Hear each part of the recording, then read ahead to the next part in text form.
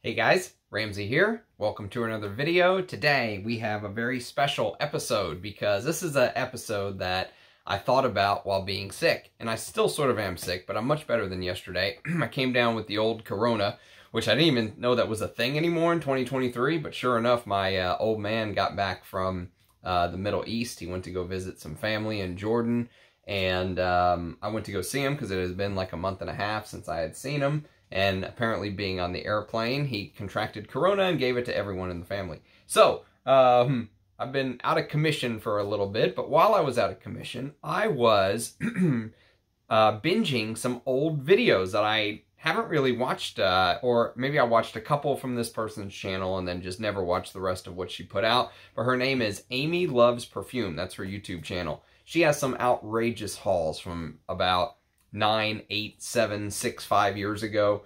Um, and her hauls are unbelievable, like 100 bottle hauls. They just go on and on and on and on. and I know while I was watching her video, this is my scent of the day, by the way. Uh, this is Nino Cerruti's Fair Play from 1984. And um, so this has a cap on it because this is a, actual retail bottle. I'll show you another Nino Cerruti I wore recently that uh, did not have a cap. And while I was watching some of her videos, she was talking about how important she thought it was to have a cap, that she loves having a cap if she can. It protects the fragrance, you know, atomizer and all that stuff. And I completely understand that. But I've always been someone who went for, you know, trying to get a respectable amount of juice, even if I have to sacrifice the cap. And some of these harder to find vintage fragrances, sometimes you have to sacrifice a cap. So this video is going to be about my headless soldiers, my fragrances in my collection that I went for that were either testers or fragrance bottles where the person lost the cap and I bought it secondhand or a swap or something like that. And um, I just thought this would be a fun video. So while most people are sick, uh, they're up in bed trying to recuperate, my recuperation is hanging out with you guys. So I do have some cough drops ready. I have a backup bottle of uh, water ready. so I should be good to go. However, if I did miss a fragrance in my collection, if you see later on a fragrance that did not have a cap that I forgot to include in this list, please take it easy on me uh, because I am under under the weather still officially. But I will just tell you real quick, uh, Nino Cerruti Fair Play is absolutely fantastic. One of the unsung heroes from the 80s. It's like this you know, it opens up citrus. It's a lab. It's an amber fougere is the way that I would describe it. So it has that, you know, um, barbershop lavender in the top with fresh citruses. But what's so crazy about this fragrance is just how smooth it is. I mean, it is so smooth. And it has a little bit of anise that isn't listed. I pick up a little bit of an anise note, but you know how the anise in Azzaro Pour Homme is like sharp? The anise in Nino Cerruti Fair Play is so evenly smoothed out. I don't know if it's the amber vanilla in the base or whatever it is, but it's so smooth, but it has old school touches with pine and basil and old school carnation and stuff like that. And it's this leathery, mossy dry down.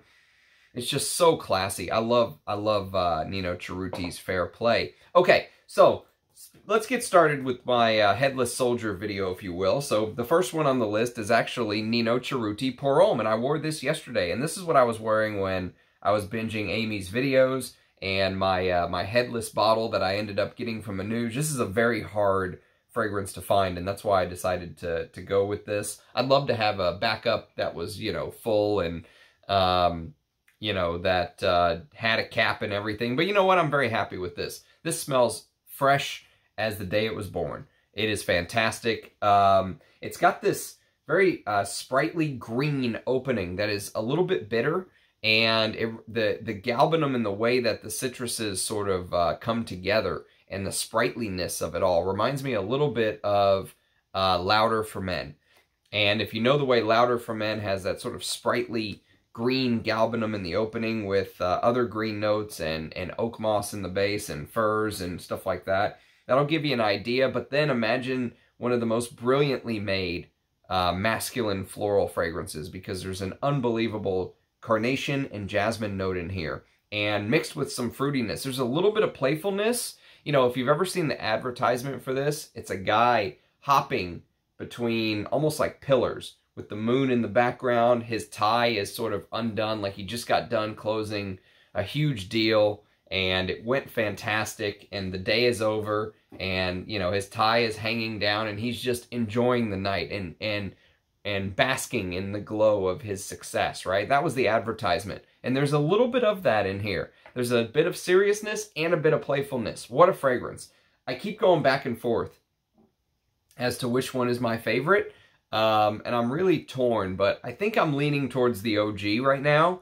Uh, but this is a really good unsung fragrance from 1984. Fair play. Okay, so Nino Cerruti Pour Homme from 79 is the first one on the list. Now, I'm going to do a quick honorary mention because this actually did have a cap, and I ended up throwing it away because it didn't fit. It was Etienne Aigner number one, and I bought this from someone on eBay, so they may have put the wrong cap on, or who knows how it happened, but whenever I would actually push the cap down to close it, it would spray the, the atomizer. Um, so it seemed like it was the right cap, but it just, it, it didn't fit. I don't know what was going on with that. But this is another unsung fragrance from 1975, spicy, leathery. If you like those smoky, spicy, leathery scents, um, Aigner is one of those houses that I feel was almost a canary in the coal mine house. Like whenever they would do something, other houses would pay attention and then you'd see it kind of happen um, in other houses as well. And this DNA seemed like it became very popular in the 80s as well. And this was 1975. So uh, great leather and smoky, leathery, woody, uh, spicy masculine. You know, that old school, no holds barred masculine of the 70s. Aigner number one. Honorary mention because it had a cap, but I ended up chunking it. Um, okay, next on the list is probably one of the most hated fragrances in my collection. I honestly have I'm going to grab a little, uh, a little cloth here. I honestly have no clue why I have this still. I should just wear it, review it, and sell the damn thing. Um, but this is Salvatore Ferragamo's Uomo. So, um, here's the thing. There are people that absolutely love this scent. I mean, rave about it. Like, 10 out of 10 this person just did like a handstand and and uh, nailed the landing and it's just perfect and for me i hate it. I absolutely despise it. It's everything i hate in modern perfume. It's sweet and disgustingly disgustingly sweet. Um, and that's one of the biggest issues is that tonka they say there's a tiramisu note in here a tiramisu note who the hell wants to wear a tiramisu note as a man? I, um, not my thing at all, personally. But uh, I'll wear it, review it, and then sell it one of these days. The problem is I actually have to wear it to sell it. I can't stand it. Every time I've sprayed it on, especially like, because I don't want to wear it as my scent of the day, so I'll spray it on before bed, and I'll just be like, oh, geez, what, what have I done? Uh, but that is Salvatore Ferragamo's Uomo. Okay, next on the list is, this is a, a really good house very underrated house. Um, and this is Basile Uomo. This is the 87 version. They actually had, I think, like a 2002 and a more modern version as well. But the 87 version is the most popular among vintage collectors. There's a little bit of Paco Rabanne Pour Homme in here. But this is a Chypre. This is not a, a Fougere. So Paco Rabanne Pour Homme is a uh, Fougere. But I think because of the way the lavender and the rosemary and the top play, it will remind you a little bit of Paco Rabanne Homme, but it dries down like a mossy, leathery Chypre. And this has a very interesting note of clove, blackcurrant, and galbanum in the heart with cinnamon, nutmeg, rose, and jasmine. There's some heavy patchouli in here, old school style as well. Really, um, really well done, masculine. Over Gets overlooked, but uh, I really enjoy Basile Uomo. Okay, next on the list is a flanker from 89, and it's called Basile Uomo Forte. Now, when I see pictures of this juice, um, it's always like clear looking. And I got this as a tester from Anouge, and this is actually one of the biggest risks of buying testers like I like I sometimes do to, to try to be cheap and save money and get your nose on the juice is that you know, when air gets in the bottle, depending on how long it sits, it can obviously degrade and change the formula. And this is one of those where you can smell it in the first couple minutes of the fragrance. It's not fresh. Um, And, but I, I still think I got a good feel of what the perfume would be, but I would love to get a fresh bottle of this that uh, maybe has never been sprayed or something like that. He tried to commit suicide right there. He didn't like the way I was talking about him. You stay right here, buddy. You stay right there. Um, okay, so Basile Uomo Forte is kind of like this. Um, it's an interesting one because I would almost characterize it as an amber fougere of sorts. So if you've ever, um, if you've ever smelled Pierre Cardin's uh, Pour Monsieur, so uh, Pierre Cardin's Pour Monsieur from 1971, 72, early 70s, right? Uh, this one right here, Pierre Cardin's Pour Monsieur. Uh, there's a little bit of this, um, you know, amber fougere touch in uh, Basile Uomo Forte, but it's a little bit more ambery, if you will. Um, and I need to wear it more. Uh, I've only worn this once or twice, if memory serves, but um, because I bought it as a partial from Manouche. But um, definitely one to uh, keep an eye. And I think you can still find these pretty cheap. So I think this was a one run. It was a one run fragrance. So Sirpea is what I'm calling the distributor. S-I-R-P-E-A, Sirpea. They're they're the only ones that basically made the fragrance. And um, um, and then that's it. It ended up getting uh, it ended up getting discontinued. Like it was basically a one one run fragrance. Um, let me see if I can pull a note listing, just out of curiosity. I didn't pull up notes on each and every one of these, but let's see if I can just pull this up real quick on Basile Uomo Forte. Man, I'll tell you what, I really do like Basenotes, but their servers are so slow. They need to get some more servers is what they need to do. Um, every click of their website is like five minutes of waiting. Okay, let's see. Basile Uomo Forte. Mandarin, lemon, bergamot, aldehydes, green notes in Artemisia, carnation, cinnamon, rose, coriander, jasmine, pepper, fir, sandal, cedar, amber, vanilla, patchouli, olibanum, cistus, and vetiver. Very interesting. Um, okay, so next on the list we have Baldessarini Eau de Cologne from 2002. Now this is a very underrated fragrance. Um, I ended up buying this one in this tester bottle because if you look right here, it says Hugo Boss. I don't know if you can see that because it's starting to rub off, but Hugo Boss Baldessarini. Because originally, Baldessarini, the brand, was owned by Hugo Boss because Baldessarini was like the big boss of Hugo Boss. He was literally the boss of Hugo Boss that navigated Hugo Boss through all the rough times, or great times, and um, when he retired, they ended up creating this brand that was like dedicated to him as like a dedication for all the work he did. And then they ended up spinning it off and uh, it ended up becoming its own brand. So first it was Baldessarini by Hugo Boss. Now it's Baldessarini by Baldessarini. Um, but I got this one because I knew it was an older bottle. And um, that's why I ended up buying this tester. So it's now being marketed by Mauer and Wirtz, different brand. They're more of a drugstore brand. Um, they they do um, things like, for example, uh, Tabak. This is a Mauer and Wirtz fragrance, you know, stuff like that. Um, and so I wanted to get the older bottle, but this is a very interesting fragrance because it has this bitter orange opening and spearmint with clove and cumin. And that combination will almost instantly remind you of a Jean-Claude Ellena fragrance, but but it was actually made by Pierre Wargnye, one of my favorite perfumers, who also did Boss Number One um, for Hugo Boss, interestingly enough, and Jean-Marc Chailan. Um, but anything Pierre Wargnye touches, I feel is gold. And this is one that's really underrated for like a summery, spicy, woody scent. Really good stuff. Okay, next on the list is um, YSL's M7. Again, no cap, because this literally is a tester. It has the notes on the back, which is convenient to show. Oud, vetiver, amber, bergamot.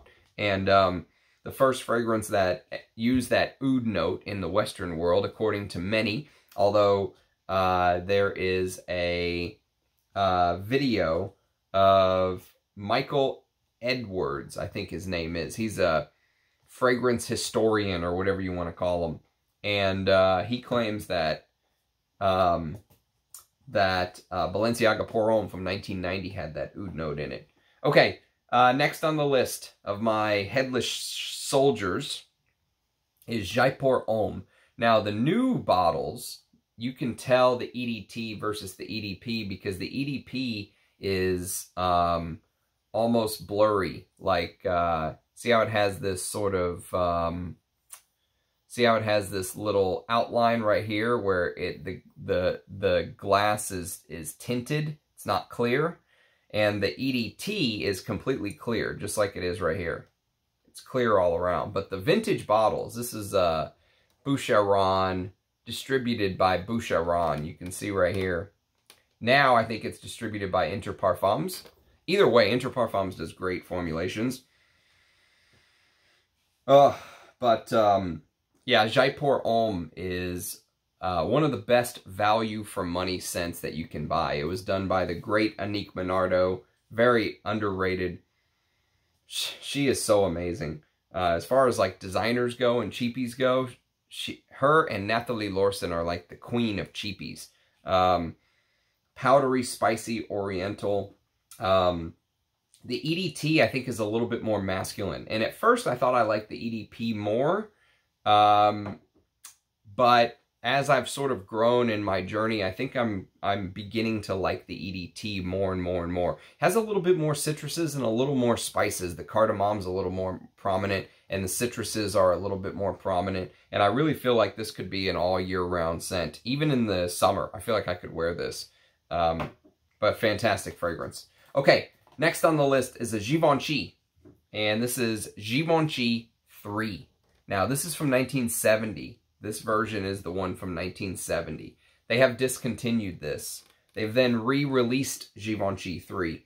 And, of course, the new formula is shite. I wouldn't go anywhere near it. But um, Givenchy 3 is an unbelievable, fantastic uh, green Chypre. And it takes bits and pieces from YSL's Y from 1964. The Chypre with uh, that really was the launch pad for the House of YSL in the fragrance game. Uh, there's a little bit of YSL Y in there, which makes sense. This is only six years later, which in vintage fragrance world is nothing, to be honest with you. You know, their timeline back then was much different than ours.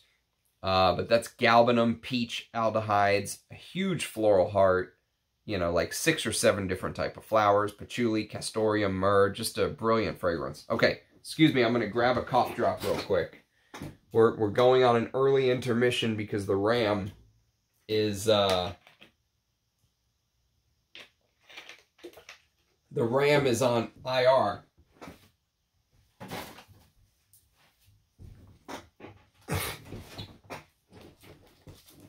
Ricola.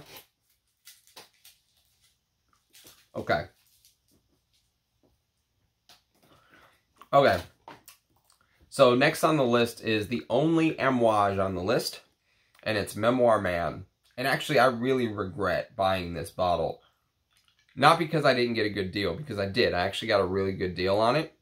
Um, but it's the only Amouage in my collection that doesn't have a cap. And it just stands out. You know, all the other Amouages have a cap. Even the ones that I have that actually are tester bottles like here's a tester of uh, Diaman. Here's a tester of Diaman. And you can see the giant tester on the back. And uh, it even has a cap. You know? And so, um, so yes, I uh, regret the Memoir Man. I wish I would have just ponied up the extra 50 bucks or whatever it was and got the one with the cap. But this is a great fragrance. And it's one of Karine Vinchon Spehner's earliest work, and I think she really knocked this out of the park. It's like uh, it's like going through a Dr. Seuss book on LSD. It is literally that crazy. All of the green notes just blur together. Smoky, minty. It's got the frankincense and smoke you would expect in an amouage, but it's unique and challenging and and the leathery sandalwood dry down in this, beautiful dry down. Just a fantastic fragrance. That was when Amouage was firing on all cylinders in 2010. Excuse me. Sorry to clear my schnoz on video. Okay, uh, next. Next on the list, we have, again, a tester I think I got from Anoush. And this is um, Alain Delon Classic. So I um, uh, really like the House of Alain Delon and what he did.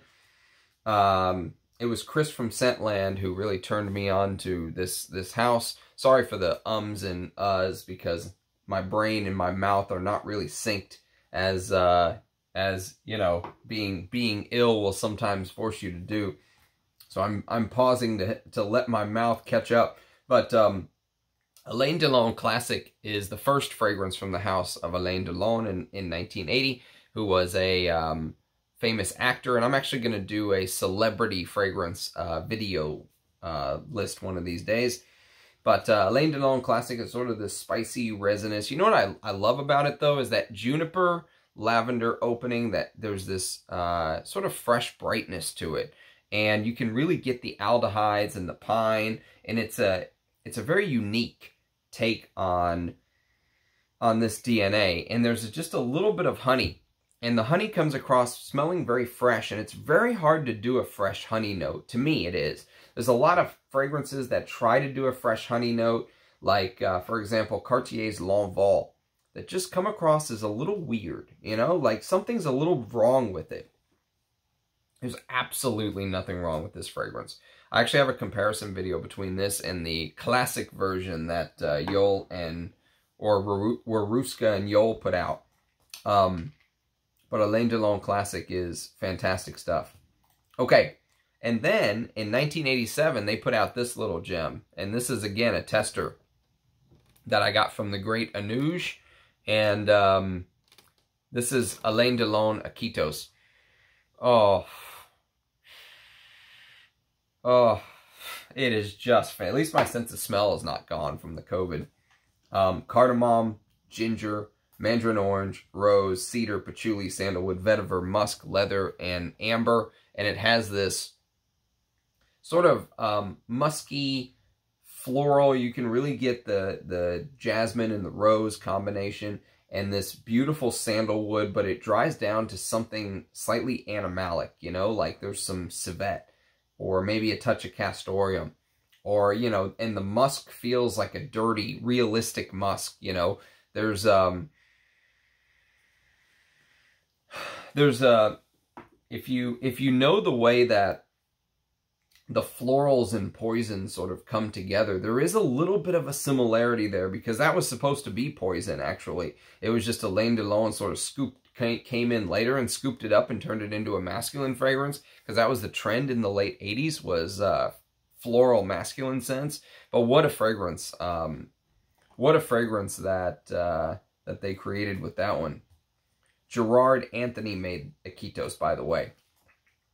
Okay, Next on the list is a Guerlain. A bunch of Guerlains, actually. Sorry to have to do that in your ear. Um, so, I didn't realize how many Guerlains I actually bought without caps. But uh, the first tester I ended up buying was uh, Jicky. And this is the Eau de Parfum. I think this is a 2017 bottle. Not 100% sure. 7 U01. I think it's a 2017 batch. Um, but this is the Eau de Parfum. And this is the uh, Eau de Toilette. You can see I also got this without a cap. And um, this is sort of a um, Hesperidic fougere. So it's got lavender. Um, and it was actually the very first. It's known as sort of the very first um, fragrance that was sort of like an art. You know, it, it, was it was its own smell. It wasn't a fragrance that was created to smell like a gardenia or a fragrance to smell like lavender or you know that kind that sort of thing. That's what many of the fragrances were before 1889. Is they would put out a fragrance and it would be like, you know, daisy. And it was literally supposed to smell like a daisy flower or something like that, right? And Guerlain sort of came came along. Aimé Guerlain came along and with Jicky completely changed the game because it was the first modern fragrance. Um, and um, it's spicy, it's floral. There's a little bit of dirtiness to it. I call it a halitosis note. Some people don't like me saying that, but there is. There's something slightly dirty about it, let's say. Um, the reason that I say that is because it's a dirtiness unlike anything else I've ever smelled. Like if you smelled just civet on its own or castoreum or whatever it is, skunk oil, you know, there's this sourness to some of them or there's this leathery um, ambriness to others or there's this metallic vibe to castoreum or, you know, all of these different things. And here, the animalics are very strange because, yes, it's an animalic note, but it's almost like an animalic note where you've taken this powder and just dumped it all over it, you know, and you try to hide it with other things. You try to hide that animalic note, but it ends up making it smell different from any other animalic note you've ever smelled. But Jicky is a must smell for anyone who has a cursory interest in perfume. Anyone who has more than a cursory passing interest in fragrance should smell Jicky because Jicky is um, it's it's almost like the foundation of modern perfumery. Many perfumes were built off of what Jicky did. And then in 1919, in 1919 they ended up putting out this little bad boy, Mitsouko. And I am in love with this version right here in particular. Um, my brother Cullen secured this for me. And oh, Mitsouko is, um, I mean, it's one of the greatest fragrances of all time, easily. But this is particularly the Parfum de Toilette, which these houses, they couldn't really agree on um, how, what they would call the eau de parfum in the late 80s. In the mid 80s, let's say in the 80s, but this could even be a late 70s bottle. I'm not 100% sure. I think Anuj told me this is a late 70s bottle. So let's say from the late 70s until the end of the 80s, the houses could not agree on what they would call the eau de parfum. Um, Guerlain called it parfum de toilette. Chanel called their eau de parfum um, eau de toilette concentré you know, and there's all these different versions. So YSL called their version Secret de Parfum. Dior called theirs Esprit de Parfum. Um, so, but it ended up working great for collectors because it's easy for us to go back and, you know, track this particular, you know, time period by the way that they were called. So the Parfum de Toilette, if you can find this or any version, any version of Mitsouko Parfum de Toilette, get it. It is absolutely mind-blowing. Um, knocked me for a six. One of the greatest chypres ever made. Amazing.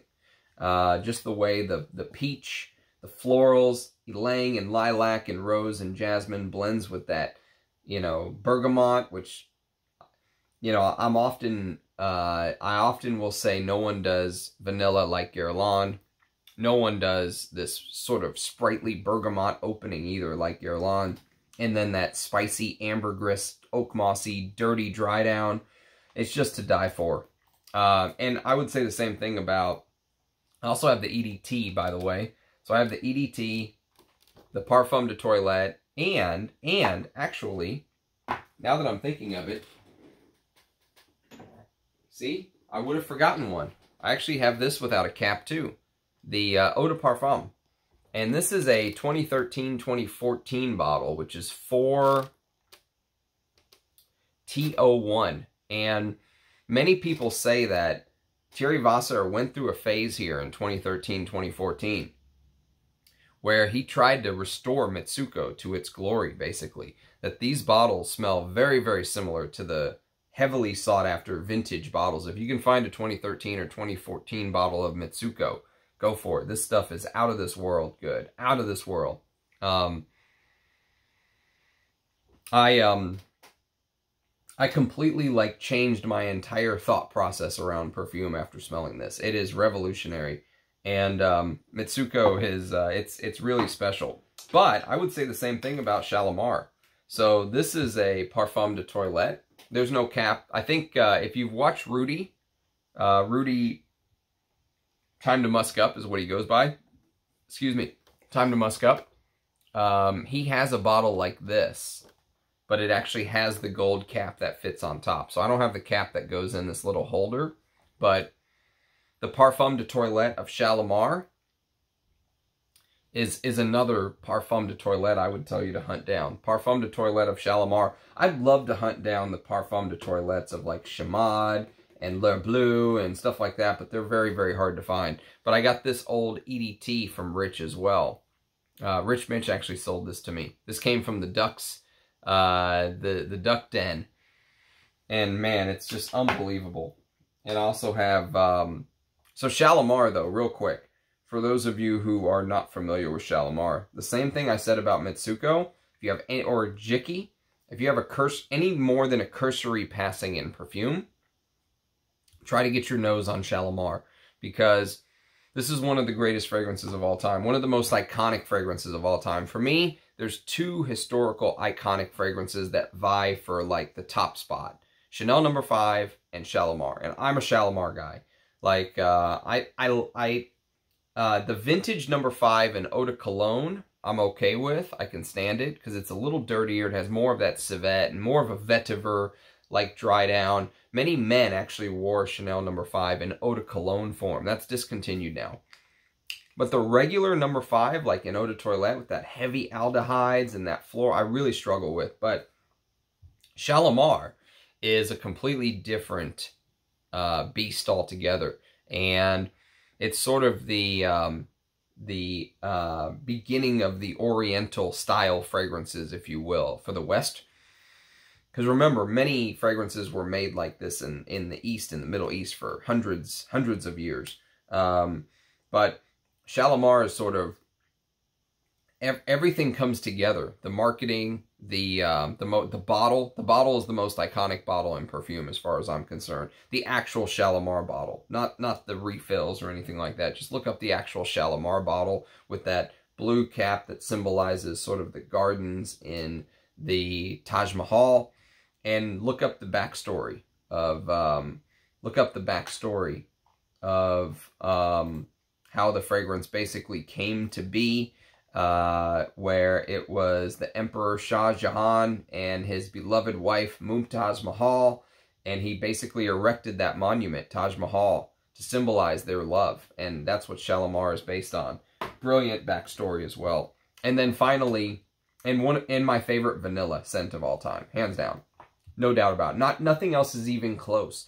Nothing else is even Shalimar is so far ahead that nothing else can even see Shalimar if they're chasing it. That's how far ahead Shalimar is for my favorite vanilla. And then we have L'Heure Bleue. L'Heure Bleue is, um, again, when you talk about fragrances that tell a story and that put you in a mood, there's very little that can compete with L'Heure Bleue. And you can see how I've spent so much time on Guerlain because they really create this mood inside of me. You know, Guerlain is art art per perfume. Guerlain is perfume for people who love perfume, is the way that I really think about it. And um, this is the Eau de Toilette. I also have the Eau de Parfum of L'Heure Bleue in a refill bottle. Um, but L'Heure Bleue is sort of that, uh, the, the blue hour. And you know, if, if you think about that time at night when the sun goes down, but there's still light in the sky, and, you know, there was basically a quote by Jacques Guerlain, which to me is the most iconic quote in all of perfume. Jacques Guerlain said that he felt something so strong inside of himself that he could not portray it to the world or display it to the world in anything else than a perfume. That was his saying. In more or less, okay? Not a direct quote, but more or less, that's basically what he said. Imagine that. He's basically saying that this is the only art form that I can portray what I'm feeling to you people. Um, that's pretty damn powerful as far as I'm concerned. Uh, and he's right. I mean, when you wear this, you you cannot help but have your mood changed by it. And um, you also have to remember the time period that he said all this in. This was right before World War One. L'Heure Bleue was 1912. So this is right before World War One. And he felt that the sun was not just setting on that day, but it was setting on an entire era, that everything was going to change soon. And he was right. Um, but it's just a, just a deep, thoughtful scent. And then, so we jump forward to the 80s. This is 1987. This is Giorgio for Men VIP Special Reserve. Hell of a name. Great fragrance. Aldehydes, cardamom, mandarin orange, bergamot, patchouli, vintage carnation, cedar, rose, sandalwood, cinnamon, and iris, benzoin, moss, amber, leather, musk, tonka bean, and vanilla. Fantastic stuff. Uh, Giorgio for Men, or, or Giorgio Beverly Hills is a house. They had Giorgio for Men uh, from 1984. And then they had Giorgio for Men VIP Special Reserve from 87. You talk about a house that was firing on all cylinders in the 80s. Giorgio Beverly Hills was big stuff back then. Shame they've had such a fall from grace, but uh, those two are definitely worth buying. And then we're going to jump to the house of Trussardi. And Trussardi is an Italian house, and this is from 1995. This is Trussardi L'Uomo. Not Trussardi Uomo, which that's my favorite Trussardi from 83. This is Trussardi L'Uomo from 95. Sorry. So this is Trussardi Uomo from 95, which is sort of this woody, fruity tomato leaf fragrance. And it may sound strange to you, a tomato leaf fragrance, and it is strange, but um, there's something about that tomato leaf smell. So imagine like this uh, bitter, herbal uh, tomato leaf that has this sprightly freshness about it. So the bergamot, the lavender, there's an herbal freshness around it with spicy notes, and then a base of patchouli and vanilla and tobacco and woods and stuff like that. I really like what this does. This might be, so this, there's two tomato leaf fragrances that go head to head. This, and um, what about Adam by Joop? Uh, those are the two for me. Those are the two tomato leaf fragrances. That's it uh, that go ahead. I mean, obviously there's more, but for me, those are like the two big hitters, and they're both done in the 90s. And then, um, probably the most underrated Nathalie Lorson creation, I would say. Gets no love, long discontinued, um, by the House of Trussardi from 2006. This is Inside Man. Inside For Man, excuse me. That's the technical uh, name, Inside for Man. And I actually have two bottles of this, and they're both testers with no caps. Uh, which again, when you're looking for hard to find discontinued fragrances, sometimes you have to just get what you can find. And, um, but I think both of them were unsprayed when I got them. So Inside for Man is uh, a woody, spicy, unique fragrance because it's got coffee beans and tobacco, and there's a base of teak wood. And teak wood is a wood that uh, you don't see used very often in perfume. Teak is a very hard wood. And But what's so interesting about this fragrance is it opens up like a designer, but unsweet. So imagine drinking a Italian-style espresso coffee with zero sweetness and having a cigarette in the morning. That's the feeling of Trussardi Inside for Man. But it's in a designer you know, it's a designer fragrance. So there is a little bit, uh, as the fragrance continues to dry, it brings out a little bit more of this designery, slightly, um, you know, powdery. The coffee, the coffee bean slowly begins to change in the scent, and you do get a touch of sweetness into the dry down because Nathalie Lorson loves using cashmere, cashmeran, cashmere wood. Um, and but it opens up also with Japanese yuzu. I forgot about that yuzu note. And so this Japanese yuzu is there in the beginning, um, which was a very popular note to use in the mid 90s to mid 2000s. Um, it's a very expensive uh, ingredient, actually. Yuzu is a very expensive ingredient. Um, but Inside for Man, long discontinued, but if you like Nathalie Lorson's work, one of her best that is unsung. Very few people talk about it. Chris from Scentland turned me on to, uh, to this fragrance, and he's right about this one. Okay, next on the list is a little baby tester. Very hard to find. I'd love to get a full bottle. Uh, this is a full bottle, but I'd love to get a bigger bottle of this one day. This is Balenciaga's Ho Hang. So, um, I need to review this before the juice is all gone. Um, this is 1971. It's created by Raymond Chailan and Jacques Jensen.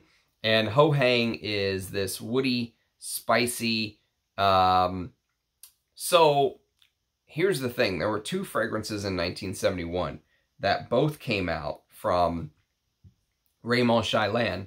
One was this. The other was YSL Pour Homme, the one that Yves Saint Laurent literally went butt naked on his advertisements to, to promote, right? And they both have similarities to me. When I smell both, they have some similarities to me. Um, they both have this citrus style feeling that was very popular with fragrances like Chanel Pour Monsieur and stuff like that, but they took them to the next level. You know, they took that DNA, which Chanel's Pour Monsieur was always a little bit boring to me. I know it's a very good fragrance, but it always just felt a little bit boring. I would love to try the vintage, the Chanel for, for men, you know, before they changed it to Pour Monsieur and see if that changes the way I feel about it, because I have a modern bottle of Pour Monsieur. Um, but here, it feels like they took that DNA and they just modernized it. You know, they added more things. So there's there's more to smell. And they made the base heavier. So, you know, they, you know, it's not just a sandalwoody base or whatever it is.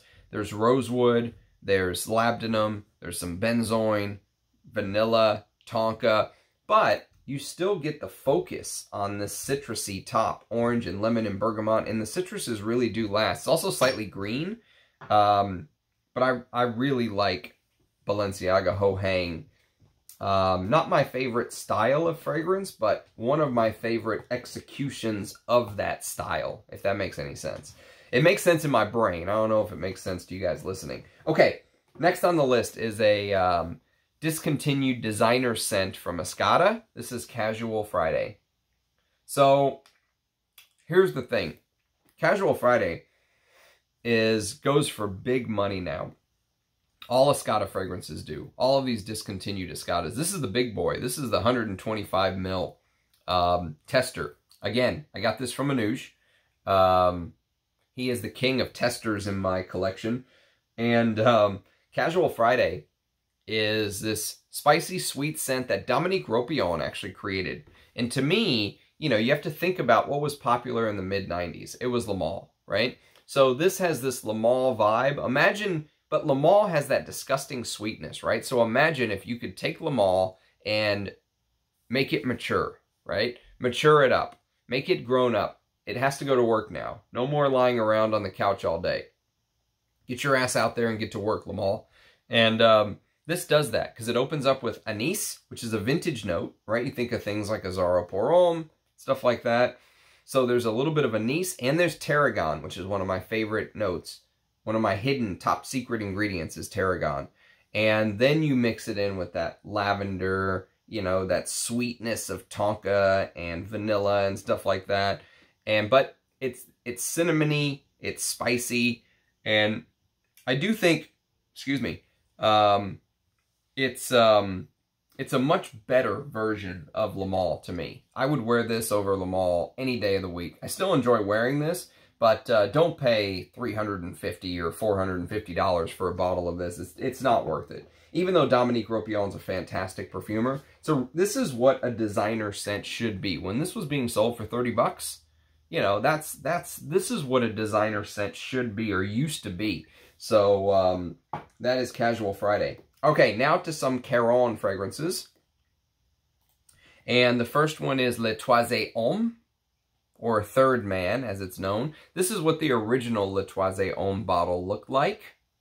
And, um, you know, if you've seen the original uh, box, it almost looks like, um, it almost looks like the image you would see on the top of a Polaroid camera or a piece of film. Remember when they used to sell film in the stores? Who's old enough to remember film being sold in stores? Um, and you know how it used to have that coat, that color, uh, you know, what would you call that? Where the color, almost like a color scale, right? And it goes from red, yellow, light blue, dark blue, purple, almost towards black, you know, and it, and it kind of just the colors change across the top. That's what the advertisement was on the vintage bottles. and um, this is a uh, this is a very well done aromatic fougere, a spicy aromatic fougere with a lot of clove. There's a brilliant clove note in here. The lavender oak moss, it's so, it's so um, classic, masculine, this is a high-class fragrance to me. Very well done. Caron Le Troisième Homme. And then, here's a Caron fragrance that gets very little love in the community. And it was created by a couple perfumers. Um, sorry, one perfumer created this. And his name is Richard Fraysse. And Richard Fraysse gets very little love in the community. But I think this is one of his better creations that sort of gets overlooked a little bit. This is L'Anarchiste. And you can see this is a tester. It's got the notes on the back, so hence no cap. Um, the cap on this bottle, if it had a cap,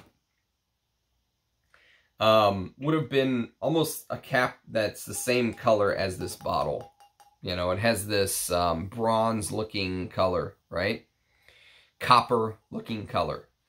And um, L'Anarchiste is discontinued now, by the way, but came out in the year 2000. And so it's mint and orange blossom with bourbon vetiver and Indian sandalwood with guaiac wood and musk. Sounds like a very simple fragrance, but it's actually pretty complex for what I would consider a summery style fragrance because of the freshness of the mint and orange blossom.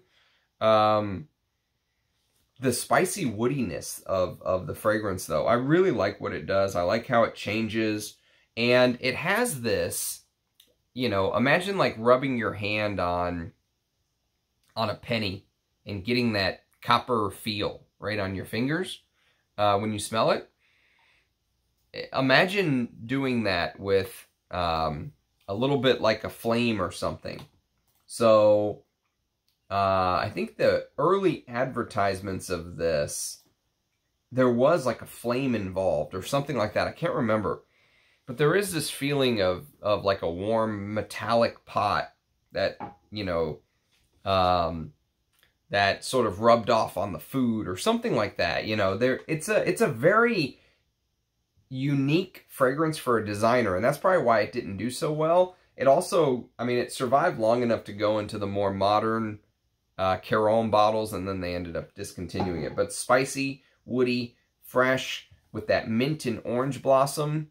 One of the better orange blossom fragrances, I would say. Okay, next on the list is a Dior, and this is the old school cologne version of Bois d'Argent. So obviously sacrificed a cap for this bottle. Thank you, Armando. Shout out to you, my friend. Oh, I, I, uh,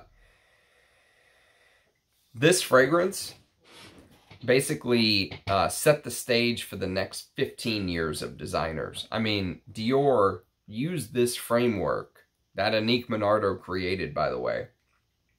She used this, they used this framework to create Dior Homme. This set the stage for it with that Florentine iris. Uh, with that iris and um, you know, it's, uh, for me, I, I would wear this mostly in the summer. I would wear Bois d'Argent in the summer. It's powdery, woody. It's got a frankincense. There's a little bit of smokiness, but it, but it remains, uh, it's not super heavy. You know, it doesn't drag you down. Okay, next on the list, we have three bottles of Polo Green. Yes, three bottles of Polo Green. And one of them is the old school Warner. The old school Warner bottle, which is very hard to come by. Um, oh, this is what a man should smell like to me, honestly. And then I've got two bottles of Cosmair. And you can see Cosmair Canada. Thank you, Anuj. And this one, this is another Cosmair, but you can see it's a little different. It doesn't say Cosmair Canada. It says Cosmair in very small writing. So, probably different distributors, different times. Um, this says copyright 1978, Ralph Lauren. Who knows? Who knows the uh, the different years and stuff? But you can see it actually says this one actually says tester on the back. Uh, this one does not. I think this is the one that Bry sent me. I think Bry sent me this one. And I think it was Hari who sent me this one. I can't remember, but I think so. I think that's how it went. Because Bry got his from Anuj. And then he ended up sending it to me. in an. I actually bought some stuff from him. And he sent me that for free. So thank you, Bry. Thank you, Hari. And thank you, Armando. Shout out to three people right there. So Polo Green, though, from 1978 is, I mean, one of the greatest pine fragrances of all time. I love that leathery dry down. I just, I love the fragrance. It's what a man should smell like to me. That's why I have three backups of it. Um, and then, Polo Crest. And this, you can see, Tester. Um, and shout out to Anuj for finding this bad boy for me. Polo Crest is um, Polo trying to modernize Polo Green. So in, in the early 90s, 1991, they tried to uh, modernize Polo Green. And they took out the tobacco and a couple other things. They tried to make it a little bit fresher. It's still a, a Chypre. It's still a leathery Chypre, if you will. Uh, it still has that pine note. But uh, I think, you know, the OG from 78 is just the best version of it. Okay, next on the list is going to be a discontinued uh, designer. I can't believe this is discontinued already. From 2016, this just came out. This is Le Male Essence de Parfum. And Essence de Parfum, and this is the uh, 125 mil. I think I got this from fragrancebuy.ca for like 50 bucks or something, 40 bucks. Um, but Essence de Parfum is a fragrance that people like me should hate. You know, it's got that it's got that designer sweetness to it. Um, but it has leather and osmanthus, two notes that I absolutely love. And so the thing about it is it has this tonka bean, vanillic, leathery sweetness, which if you've ever smelled fragrances like this, Carolina, Carolina Herrera Men, right? You ever smelled this? This is another tester I ended up getting from Anuj. Or maybe not a tester, maybe just a partial I got from Anuj. Um, how it sort of has this sweet leatheriness to it, right? Um, this has some of that. This has some of that sweetness, but even more modernized because this is a Quentin Bisch creation. Before Quentin Bisch went off the deep end and just became Akigala Biche. Um, and so he he he was still using some captive molecules back even even then. Um, even in 2016, this has a note called Georgywood in it. And Georgywood is a scent molecule developed by Givaudan that has an intense, clean, woody-like smell. And so um, very good designer though. If you like sweet fragrances, that's a that's a really good one to, to try to hunt down. Okay, uh, next on the list we have an Ungaro fragrance. And this is Ungaro Pour l'Homme, the original, number one, from 1991. This is my favorite version of it. You can see the notes right there if you're interested in checking out the real notes listed on the fragrance. I will tell you that in the note breakdown, uh, the one note that is listed here that's not listed in Parfumo is honey. There's no honey note listed.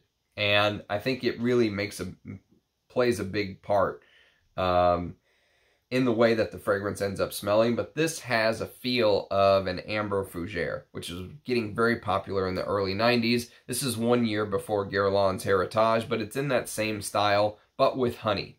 Um, so good. the the the best Ungaro fragrance. This and Ungaro uh, Pour L'Homme 2 are my two favorites, but um, 3 is good too. It's just, it's just, uh, you know, it's the only one that actually is still left, and it's the worst of the bunch, which is sad. Apologies. Let's take a water break.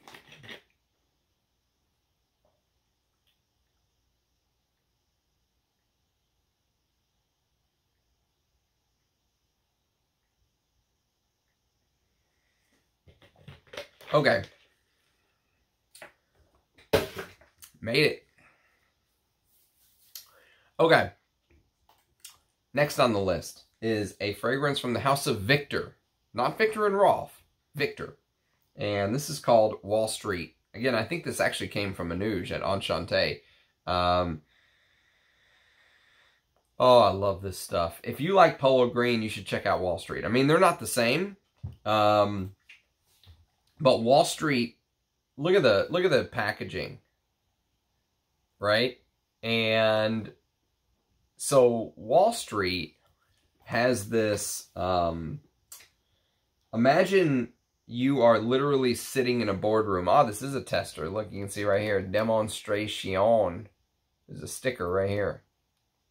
So, um, Wall Street literally feels like you're sitting in a boardroom at Wall Street in the 80s, right? So I want you to imagine big car phones. I want you to imagine mahogany desks. I want you to imagine men smoking cigars in suits, uh, showing each other their business cards like uh, Christian Bale from, um, oh God,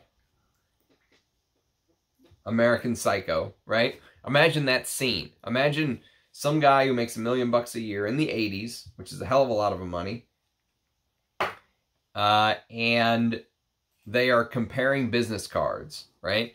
Smoking cigars, comparing business cards. You can smell the mahogany wood. You can smell the leather in the Aston Martin. You can smell all that stuff, right? It's all there. And a vintage tilt, so you get that old school pine feel. Um, let's see if I can get the notes. Wall Street.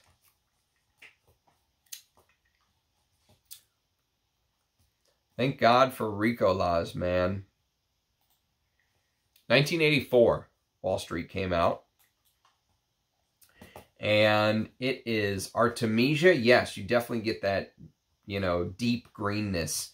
Basil, lemon, bergamot, juniper, cedarwood, patchouli, pine needles, rose, carnation, cinnamon, jasmine, fir balsam, leather, amber, and oak moss. Definitely this leathery woodiness.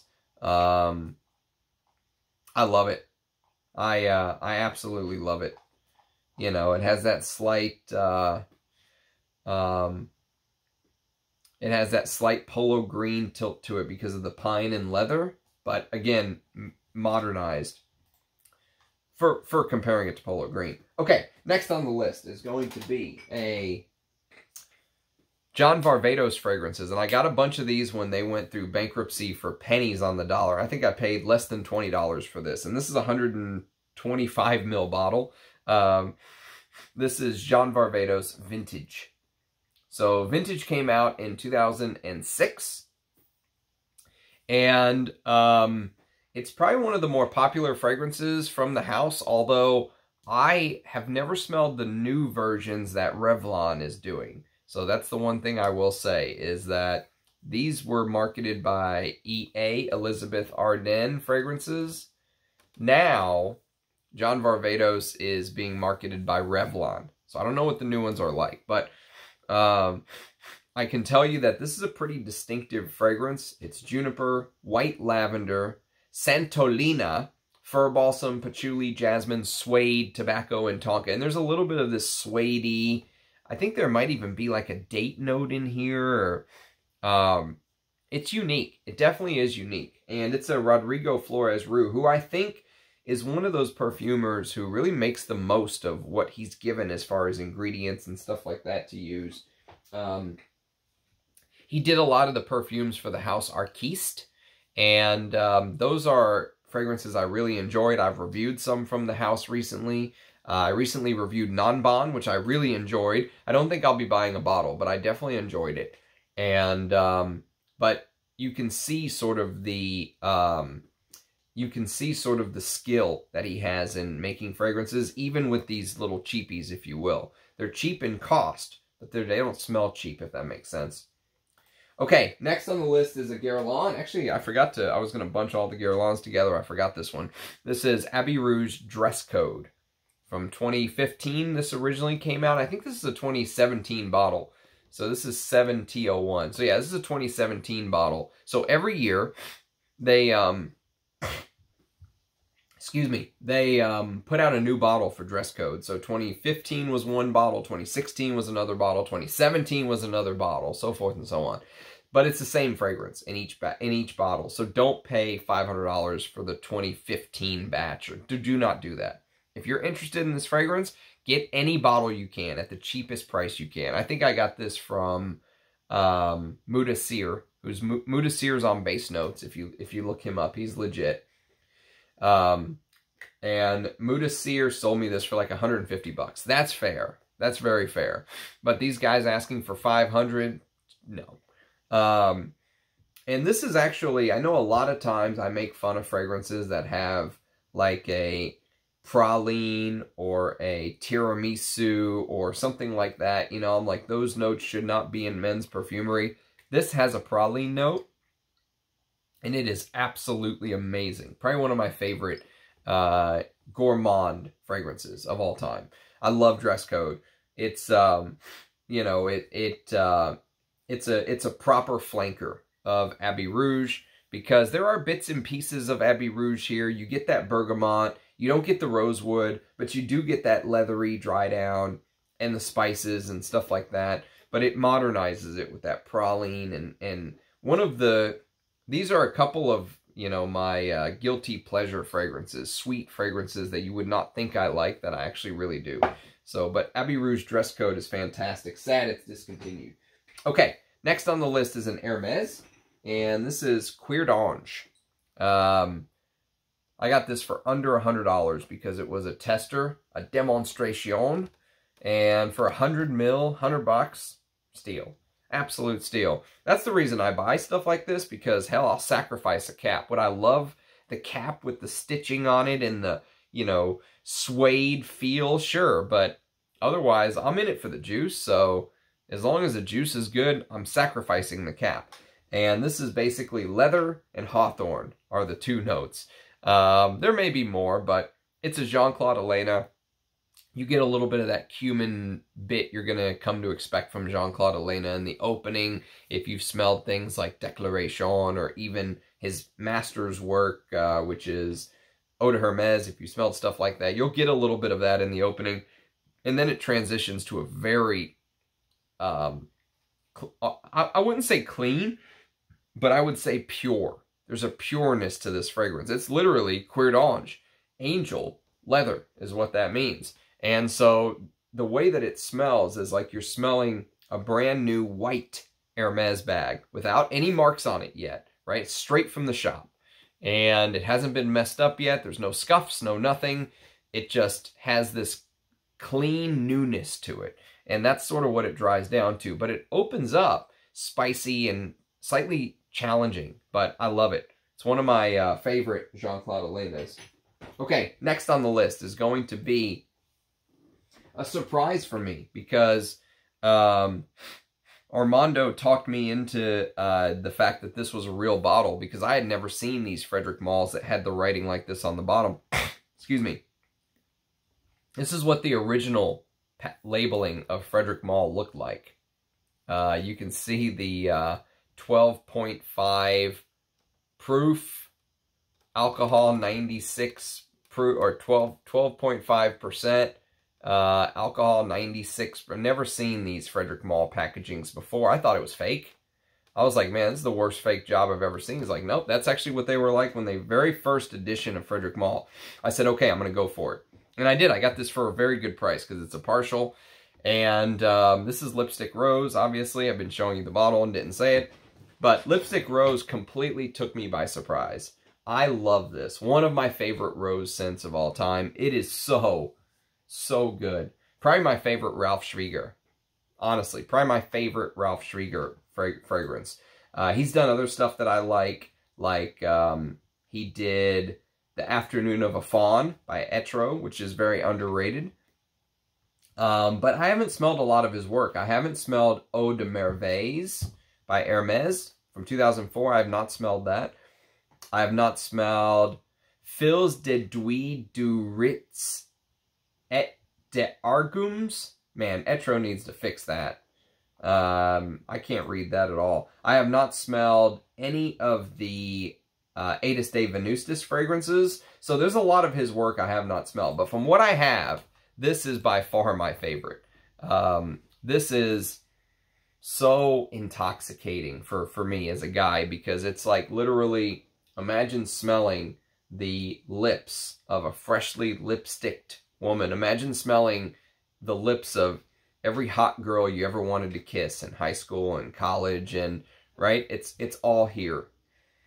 And it's it's so playful and yet there's something so brilliantly classic about it. That rose and violet combination um you know that makeupy powdery um creaminess it's it's brilliant you wouldn't think I would like something like this, but I love the execution of this is masterful. Ralph Schwieger's Lipstick Rose. Okay, now we've got a couple creeds.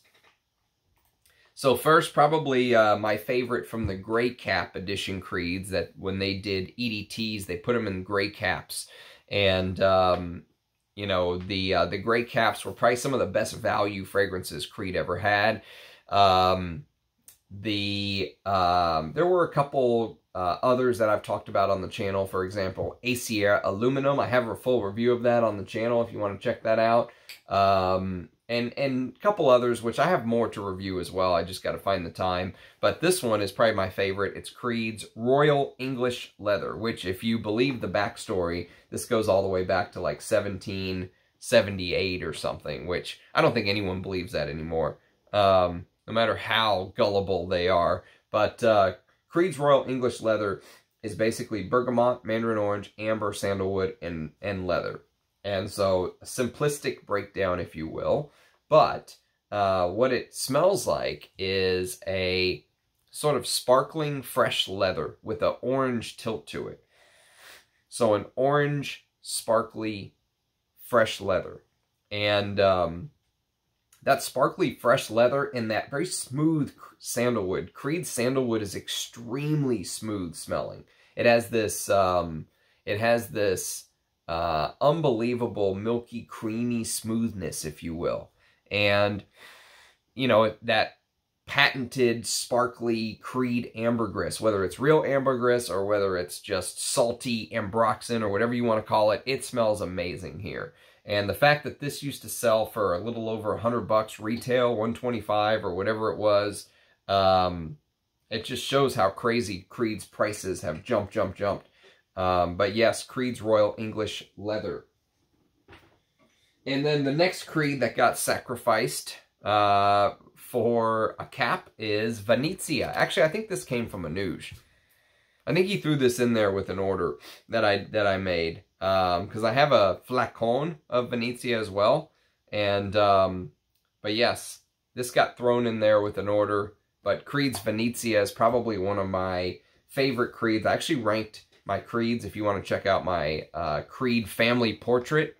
You can go check that out. This is bergamot, Bulgarian rose, sandalwood, ambergris, and vanilla, and it smells very similar to Shalimar. So it's Creed's take on Shalimar. And then we have a flanker. Another Guerlain that I put off to the side. I didn't do a good job of uh, putting these Guerlains together. This is Un Air de Samsara. So again, another tester and another bottle that comes from Anuj. Um, Un Air de Samsara is bergamot, jasmine, mint, narcissus, sandalwood. And so um, this is basically a flanker of Samsara called Un Air de Samsara, which did not get very much love. I think it got discontinued pretty quickly. Um, and there's a freshness here that is missing from the original Samsara. You know, I absolutely love the original Samsara, but sometimes it's hard for me to wear because it has this, um, you know, heavy floral aspect to it. This sort of takes some of that away.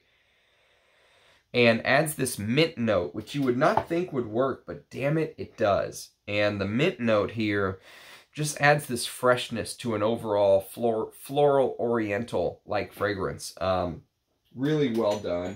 Easily unisex, too. I have no problem wearing that. Okay, next on the list is a Patou, Jean Patou. And this is Patou Pour Homme. Obviously, I sacrificed a cap for one of the greatest masculines of all time.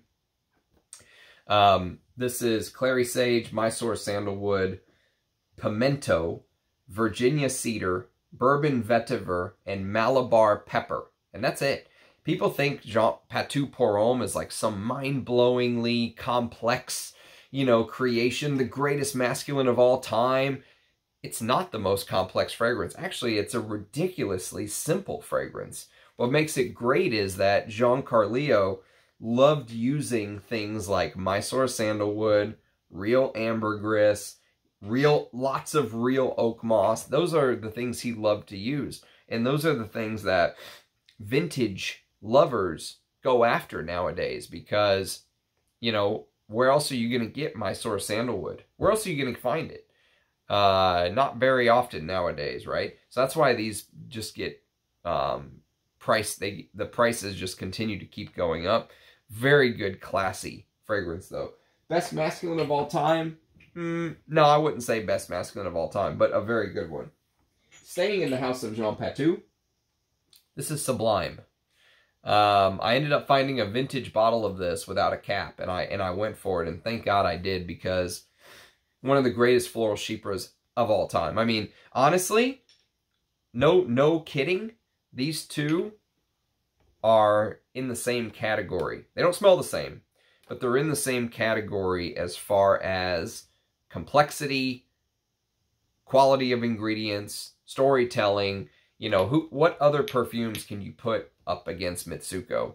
You can put things like Diaghilev, you can put things like Rochas Femme, you know, what other Chypres can you throw in there? Some might say YSLY, some might say, you know, there's many, the Givenchy I showed, many, maybe number 19, which is coming up very soon.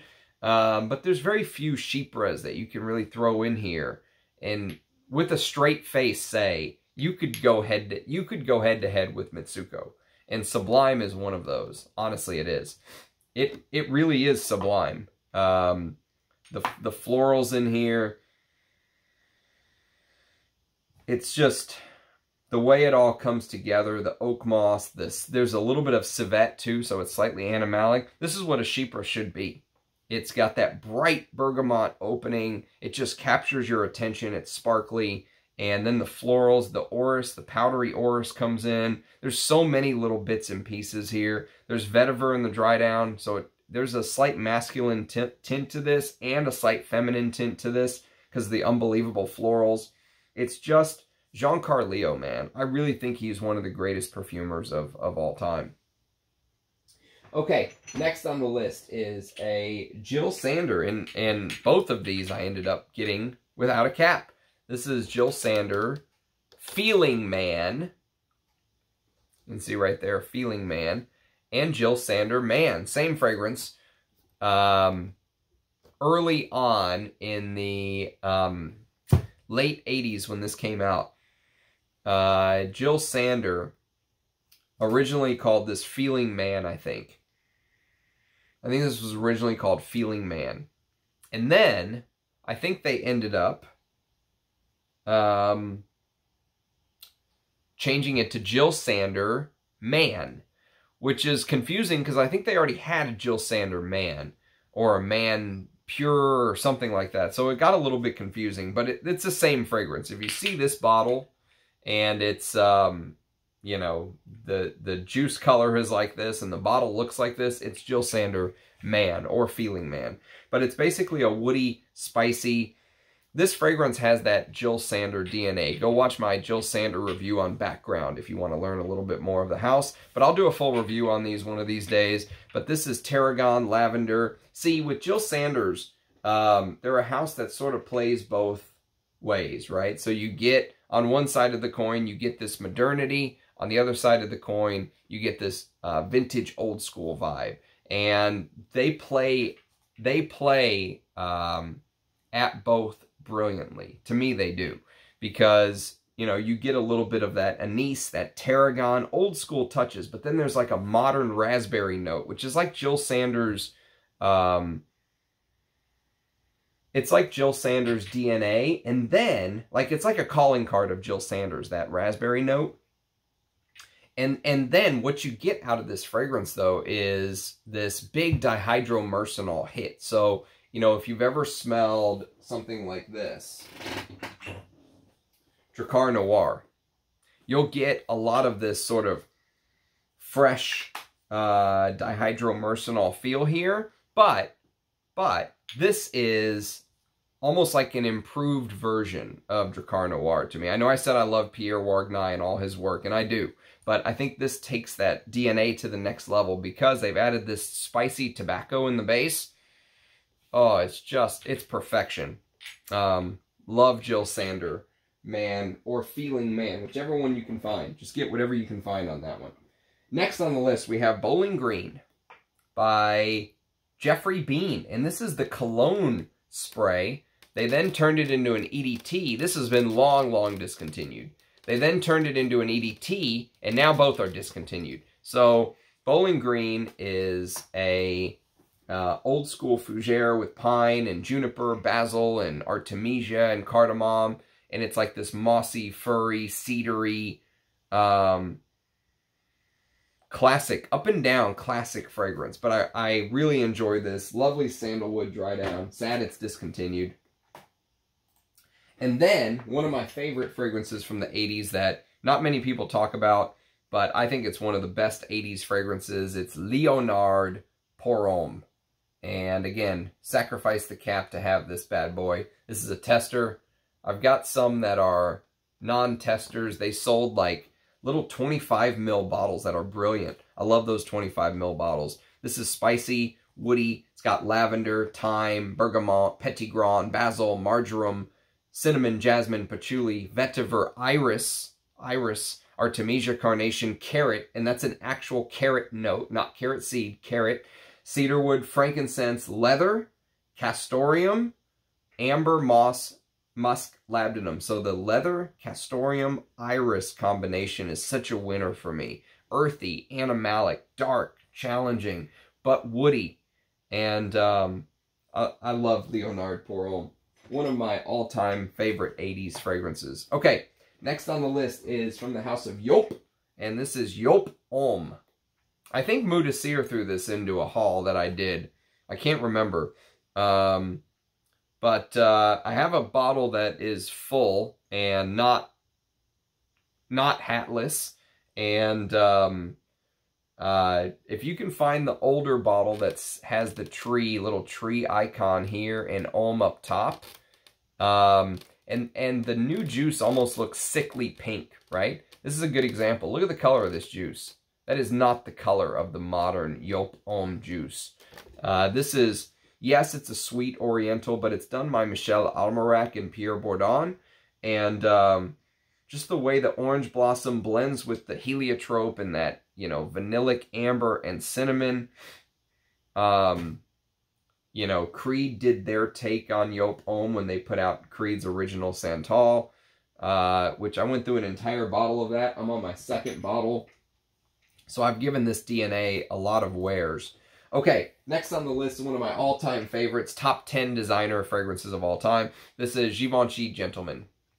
So Givenchy Gentleman is, um, I mean, one of my for-life fragrances, if you will. One of my favorite honeys. Um, one of my favorite sort of honey patchouli fragrances, if you will. Spicy, leathery, and I ended up getting this one from, I forget, maybe Mudasir. I think Mudasir found this for me.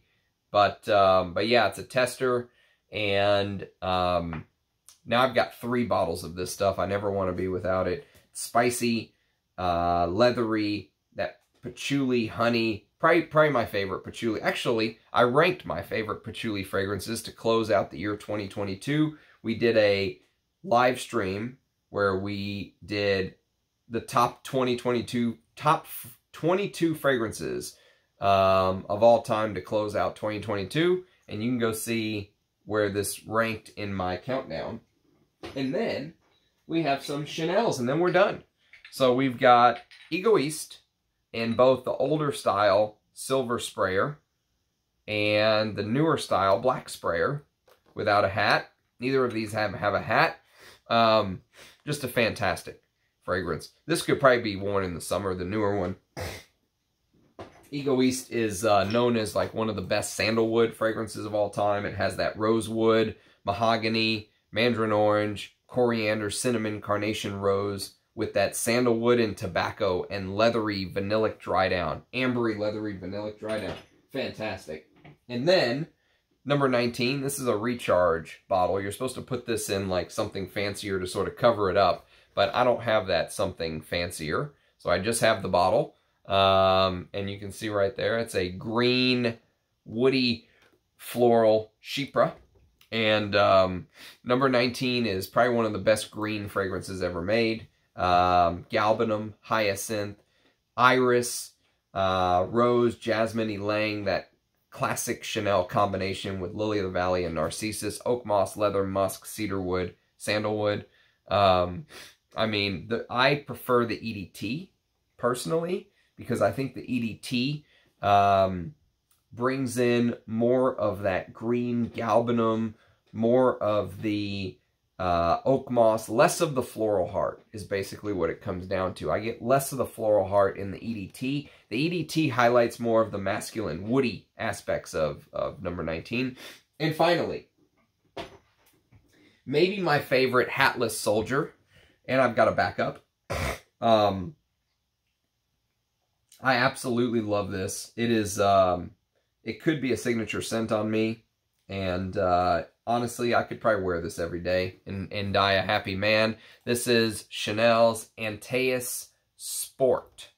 This is the Sport Cologne.